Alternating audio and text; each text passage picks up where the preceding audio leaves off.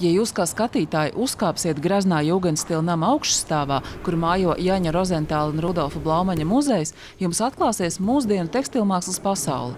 Izstādē pavasars galvā aplūkojam jaunās mākslinieces Līvas Kaprēlas oriģinālajā filcēšanas tehnikā veidotie pašportreti un skatījums uz pasauli.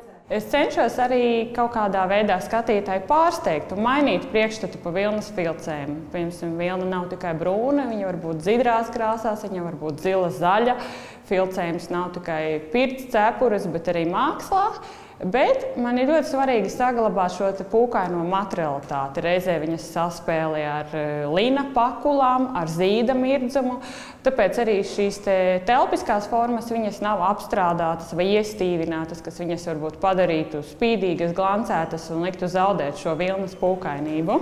Portretu tēma aizsākās studiju laikā, kad radās jautājums, vai šajā tehnikā vispār var atveidot portretu.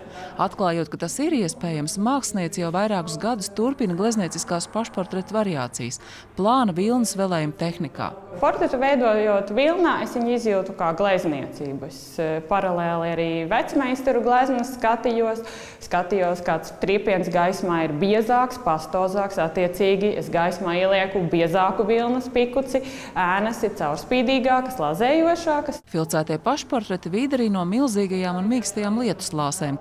Aneta Lesīta, Pēters Barkēvičs, Latvijas televīzija.